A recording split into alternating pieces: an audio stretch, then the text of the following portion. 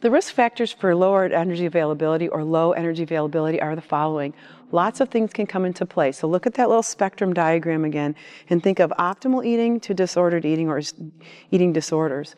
Things like restriction of different types of dietary intake, like I said, even total caloric intake. For I would say, if you're a female athlete and you're limiting your calories and working on watching calories to try to lose weight, you have to be very purposive about that. We should probably get you hooked up with a dietitian to do that. Exercise for prolonged periods of time. Um, I know that some of my female athletes will say, you know what, I worked out today, but I still, I, I did too much, I ate too much, whatever, and I'm going to exercise for another two hours when I'm done with my studying. That's a little bit of a energy availability drain, so to speak. Vegetarians and vegans, again, not a bad choice. It's a wonderful choice if that's what you choose. It's not right, it's not wrong, but I'll tell you what, if you're a vegetarian or vegan, you've got to work really hard to get things that female athletes are really very typically low in, like iron and potentially if you're a vegan, calcium. I think it's very, very important.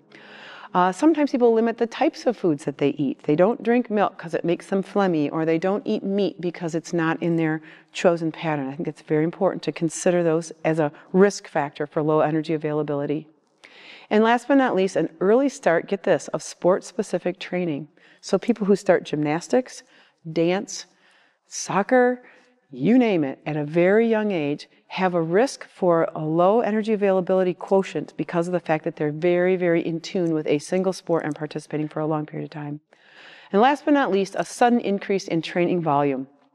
And you might not even notice it. You might say, gosh, at this point, we're at this point in our season, we're trying to peak by X number of weeks or this meet or whatever the case might be, and you increase your training dramatically that can be something that can be a, a sort of a new onset for um, lower energy availability or lowered or diminished energy availability in a female athlete.